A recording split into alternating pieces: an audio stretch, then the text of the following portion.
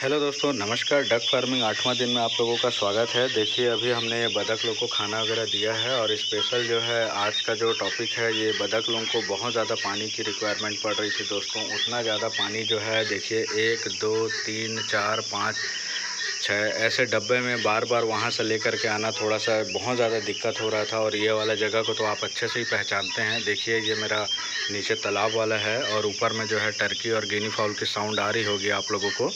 ये वो वाला जगह है। यहाँ पर मैंने अलग से यहाँ पे एक, जो अपन पोल्ट्री वाले लोगों को देते हैं, जो ऑटोमेटिक ड्रिंकर जो होता है, इसको मैंने यहाँ पर आज सेटिंग किया है। दोस्तों, वहाँ पर जो है बाल्टी लगा हुआ है।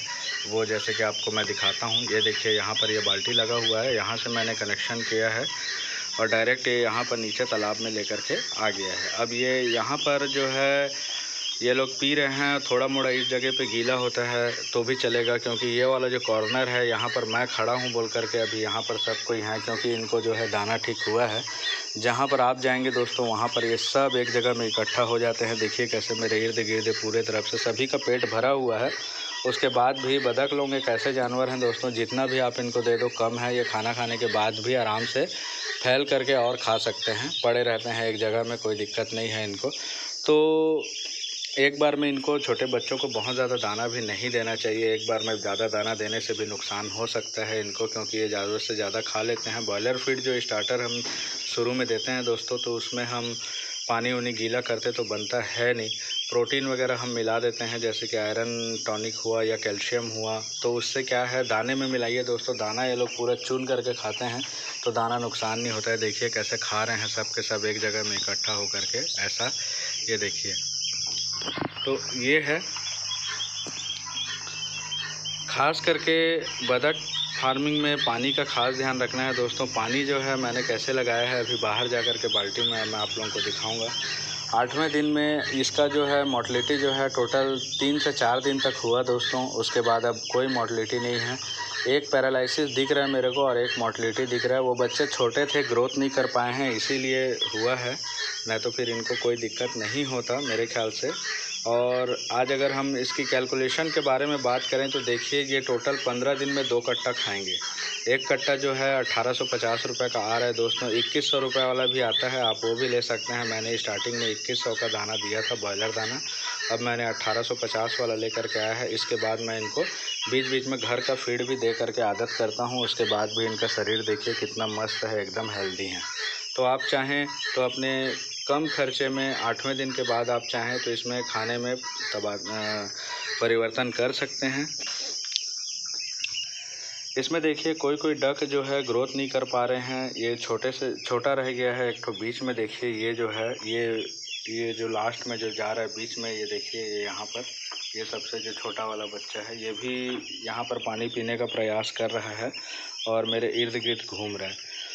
और अभी हम क्या करेंगे? ये वाला जो जगह दिख रहा है, यहाँ पर हम जाली लगाएँगे। जाली लगा करके इसको अलग से सेफ़ करेंगे इस एरिया को। इस एरिया को सेफ़ करने का मतलब ये है, यहाँ पे जो बच्चे ग्रोथ नहीं कर पा रहे हैं, ये जो दो कॉलम दिख रहे हैं, एक कॉलम दो कॉलम और उसके साथ में उधर से ऐसे ले करके जाएँगे। वहाँ पर हम इनको घेर देंगे, जहाँ पर एक बल्ब और एक पानी डब्बा और एक दाना डब्बा भी अलग से लगाएँगे, ताकि उनको 24 घंटा दाना मिले दोस्तों। उनको 24 घंटा दाना मिलने से ये होगा कि जल्दी बढ़ेंगे। जैसे कि देखिए, यहाँ पर ये वाला एक छोटा है, वो वाला एक छोटा है। ऐसे करके कुछ कुछ बच्चे जो हैं ग्रोथ नहीं कर पा रहे हैं। ये तो बिल्कुल ही छोटा है दोस्तों, एकदम। उसके साथ में ये तो अभी ढंग से चल भी नहीं पा रहा है। देखिए, अगर हम उसका अभी ख्याल नहीं रखेंगे तो एक दो दिन के अंदर में वो मोटलिटी हो जाएगा, क्योंकि सही समय में जब हम दाना देते हैं तो सबसे पहले बड़े लोग खा जाते हैं दाना, और बच्चे के लिए कुछ बचता ही नहीं है। बच्चे के लिए जब तक बचता है, तब तक वो धूल मिट्टी में ख़त्म हो जाता है। दाना हम नीचे वाले सरफेस में देते हैं, क्योंकि कागज़ हम दे रहे थे। इनको ये लोग ऐसे हैं कि कागज़ भी खा जाते हैं खाली समय में। तो बदक लोगों को अगर आपको देना है दोस्तों तो डायरेक्ट मिट्टी में भी नहीं दे करके आप थाली या पराठ में भी दे सकते हैं। ज़्यादा अच्छा रहेगा। फ़िलहाल मैं इनको अब रेगुलर फ़ीड चालू कर दिया हूँ। मेरे यहाँ का रेगुलर फ़ीड मतलब थोड़ा सा कोढ़ा देता हूँ। टूटा हुआ चावल चावल जो आता है राशन का, वो टूटा हुआ भी ले सकते हैं आप किराना दुकान से। उसके साथ में आप कोढ़ा जो है, धान की जो भूसी जो इस्तेमाल होता है, बड़ा वाला राइस मिल में धान का जो मल निकलता है छोटा छोटा जिसमें चावल के कंकड़ रहते हैं, वो थोड़ा सा ले सकते हैं। और उसके साथ में आप थोड़ा सा विटामिन, प्रोटीन जो भी आपको देना चाहें, साग, सब्ज़ी वगैरह भी आप डाल सकते हैं। तो ऐसा करने से देखिए, ये सारे के सारे अभी मेरे पीछे आ रहे हैं क्योंकि इनका आधा पेट भरा हुआ है। ज़रूरी है दोस्तों इनका आधा पेट भरा होना क्योंकि अगर पूरा पेट भरेगा तो फिर ये डाइजेस्ट नहीं कर पाएँगे। ये आपको दिन में दो से तीन बार देना है, साथ में आपको आटा देना है रेडी टू ईट देना है। आप जो चाहें, हरा साग सब्ज़ी भी अब इनको काट के खिलाने लायक ये हो गए हैं। नहीं समझ में आ रहा है दोस्तों तो हमारे पास दूसरे वीडियो में जा कर के देखिए कटर मशीन है जो जिससे हम काटते हैं, घास वगैरह। वो मशीन भी आप ले सकते हैं, उससे कटिंग करके भी आप इनको दे सकते हैं। अब समय आ गया है इनको हल्का खिलाने का, लेकिन ध्यान रहे दोस्तों, इनके प्रोटीन में कोई कमी ना हो, क्योंकि प्रोटीन में अगर कमी होगी तो फिर इनका जो ग्रोथ रेट वो कम हो जाएगा और इनमें बीमारियाँ और डिज़ीज़ दिखने लगेंगी। अब जैसे ही मैं आगे की ओर बढ़ूँगा, देखिएगा सारे बदक मेरे पीछे पीछे आएँगे। ये देखिए, सब मेरे पीछे पीछे आने लगे हैं। इनको लग रहा है कि मैं आगे चल के और इनको दाना वगैरह दूँगा। एक लाइन से देखिए कैसे ये लोग आ रहे हैं। ज़्यादा अगर मैं स्पीड में ना चलूँ तो ये लोग पैर पैर में आ कर के रुक जाएँगे। देखिए, ये ये तो नज़ारा है। बहुत ही ख़तरनाक नज़ारा है दोस्तों। वक्त पड़े तो हम देखिए, लालटेन वगैरह भी रखे हैं यहाँ पर। जैसे कि ये लोग जब छोटे थे तो इनको हम लालटेन वगैरह देते थे। देखिए ये लोग कैसे मेरे पीछे पीछे आ रहे हैं। ये देखिए लालटेन। यहाँ का मौसम बहुत ही सुहाना है दोस्तों। अभी बहुत ज़्यादा गर्मी लग रही है। इतना गर्मी है कि मत पूछिए। लेकिन इसके ऊपर में एक पटाव में टर्की और गिनी फॉल वगैरह होने की वजह से ये ये बहुत ठंडा और अच्छा लग रहा है ये वाला जो जगह है और आसपास में मेरे यहाँ तो झाड़ जंगल पूरे लगे हुए हैं जैसे कि आप लोग जानते हैं। ये देखिए बदख लोगों का क्या हिसाब किताब है। यहाँ पर चारों तरफ़ से मुझे घेर दिए हैं ये लोग। अक्सर जो है ये लोग दो से चार घंटे में यहाँ पे ये लोग दाना ख़त्म कर देते, सॉरी, पानी ख़त्म कर देते थे। दाना तो ये लोग 10 से 15 मिनट के अंदर चट कर जाते हैं। हमने अभी इनको दिन में दो ही बार दाना देना शुरू किया था, सुबह और एक शाम, लेकिन अब जो अब ये हेल्दी हो गए हैं, बड़े हो गए हैं। तो दोपहर का जो बीच का जो है ये होम फ़ूड हम देते हैं। अभी इनका होम फ़ूड का समय था, इनका होम फ़ूड हो गया है। सुबह एक बार नाश्ता हो गया है और दोपहर का खाना हो गया। अब शाम को फिर सीधा दाना देंगे और पानी तो आज हमने ऑटोमेटिक लगा दिया है, जैसे कि आपको अभी हम दिखाएँगे और डिटेल में कि पानी को हमने कैसा लगाया है। वैसे ही अगर आप चार छः मुर्गियाँ पाल रहे हैं दोस्तों और बार बार आपको पानी देने का झंझट रहे किसी जगह पे तो भी आप ऐसा बना सकते हैं। देखा देखिए हम आपको ले चलते हैं पानी की ओर। ये हमने पहले बनाया था दोस्तों, देखिए एक ड्रम ले लिया है ड्रम काट करके पूरा उस पर हमने यहाँ से नट टाइट कर दिया है, जैसे कि सिंटेक्स की टंकी में रहता है। ये अलग से दुकान में मिलता है दोस्तों, ख़रीदने में। ये नल रेडी हो चुका है। पर ये नल जो है, बहुत ज़्यादा बड़ा हो जाने की वजह से हमने उसको इस्तेमाल नहीं किया। अब यहाँ पर गौर करते हैं दोस्तों, इस बाल्टी पे हम, इस बाल्टी पे हम अगर जैसे 10 12 15 20 का जो सेटअप लगा रहे हैं तो ये भी अलग से मिलता है दोस्तों ये ख़रीदने में। यहाँ पे हमने रबर का वाशर काट करके लगाया है और ये साथ में नल का जो रहता है। और यहाँ पर जब आप ये पाइप लेने के लिए जाते हैं किसी भी दुकान में तो उस पाइप के साथ में ये नोज़ल अलग से आता है दोस्तों, डायरेक्ट ये इसमें एक इंची रहता है, इसमें फिट हो जाता है और फिर ये पतली सी यहाँ पे एक, दो, तीन, चार चार धारी की छोटा सा ऐसा निप्पल निकला रहता है। मैंने यहाँ पे क्या किया है, ये वाटर लेवल पाइप है, आधा वाटर लेवल में डाला है और आधा इस पर डाला है ताकि ये थोड़ा सा टाइट रहता है, क्योंकि नीली वाली टाइट एक नीली वाली पाइप एक बार अगर इस नोज़ल के अंदर डाल दिया जाता है दोस्तों तो इतना फुल टाइट हो जाता है कि निकलता नहीं है। तो मैंने रिमूवल के लिए वहाँ, साफ़ सफ़ाई के लिए वहाँ पर उस टाइप का उसको डाला हुआ है। और ये देखिए, ये अंदर से मैं दिखा रहा हूँ आप लोगों को। इस टाइप का। अब ये पानी जो है, यहाँ पर मैं एक बोरा लगाऊँगा और उस बोरा को गीला कर दूँगा ताकि ये पानी ठंड रहे। ऊपर से कचड़ा उचड़ा नहीं गिरे बोल करके मैंने यहाँ पर ऐसा ढक दिया है इसको। और जैसे आप देख पा रहे हैं, इसको मैंने स्टैंड के सहारे से थोड़ा सा ऊँचा कर दिया है। अब वो वहाँ पर आराम से पानी जाता रहेगा। तो ये है दोस्तों सिस्टम।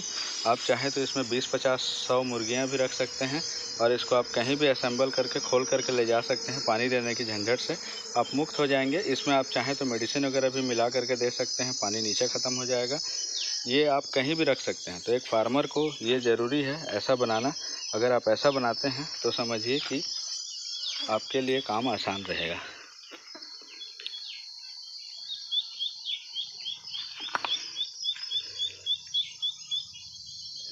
तो ठीक है दोस्तों, आज के लिए इतना ही। फिर मिलते हैं नेक्स्ट वीडियो पे। धन्यवाद। यहाँ पर भी एक बोतल ड्रम ऐसे काट करके लगा रखा है, देखिए। पूरा सिस्टम वाइज है। ये कचड़ा उचड़ा मत गिरे बोल के ऊपर से मैंने बोरा बाँध दिया है, जबकि ढक्कन है। ढक्कन में आप कितना भी कब्जा लगा ले दोस्तों, वो ख़राब और सड़ ही जाता है। तो उसको जैसे तैसे बैठा करके हमने बोरा लगा रखा है ताकि उसमें कचड़ा ना गिरे और उसके साथ में ये इस टाइप का हमने पाइप का सिस्टम दे रखा है। इसमें भी सेम वही सिस्टम है जैसे कि आप उसमें देखे हैं और उसके साथ साथ अगर हम आपको दिखाएँ तो इतने सारे जो जानवर हैं जैसे ये डॉबरमैन का बच्चा है हमारे पास और ये जर्मन शेफर्ड है, इनको अक्सर पानी उनी की आवश्यकता पड़ती रहती है तो यहाँ से हमको ताज़ा पानी लेना रहता है। एक बार जब ये बोर चलता है तो फिर हमको ये ताज़ा पानी यहाँ से ले करके सब तरफ़ देना होता है, इस वजह से यह है। अब यहाँ पर जैसे कि हम बात करते हैं राजहंस लोग का तो राजहंस लोग देखिए, वहाँ से जो नाली निकलती है, वो नाली का अभी तक चालू था वो, वहाँ से वो पपीता पेड़, आम पेड़ और उसके साथ में केला वगैरह लगा हुआ है, वहाँ तक जाते हैं वो। ये देखिए राजहंस कैसे हमको दौड़ा रहे ये राजहंस सेल पे है दोस्तों, कोई भी लेगा तो एकदम लो प्राइस में है। पाँच हज़ार रुपये एडल्ट पेयर में है, बहुत बढ़िया। साथ में आपको मास्कोवी भी मिल जाएगा। ये मास्कोवी का बहुत अच्छा अच्छा कलेक्शन है, पूरा एकदम सेटअप है। चार पाँच फीमेल के साथ में एक मेल आप रख सकते हैं। वो भी मिल जाएगा अभी। ये देखिए कितने बड़े बड़े मेल लोग हैं।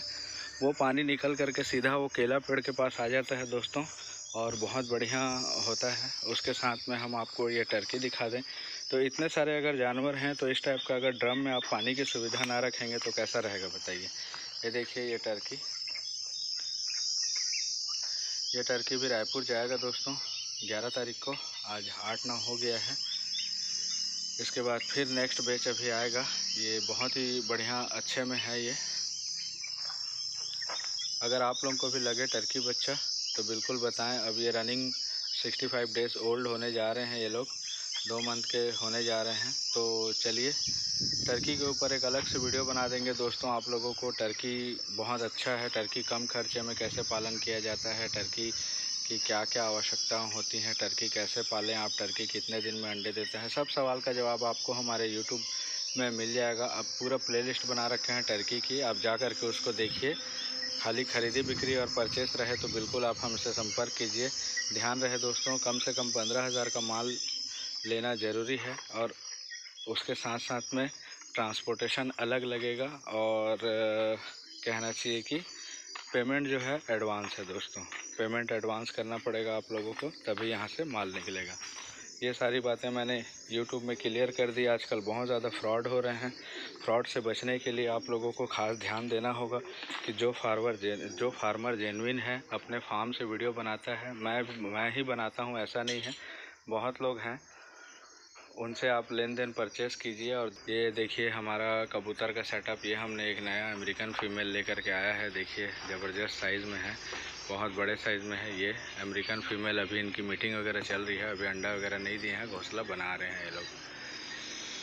ये लखे में है और मुखी, गिरेबाज, ये सब अभी रेडी में है दोस्तों। ये देखिए, ये लाहौरी है। लाहौरी का भी पेयर पूरा तैयार है, बहुत ही शानदार है।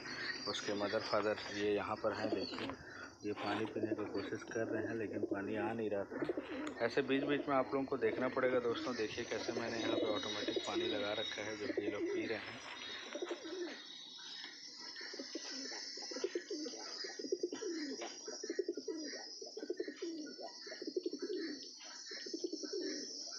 मेरे ख्याल से पानी का जो है थोड़ा सा उठाना पड़ेगा।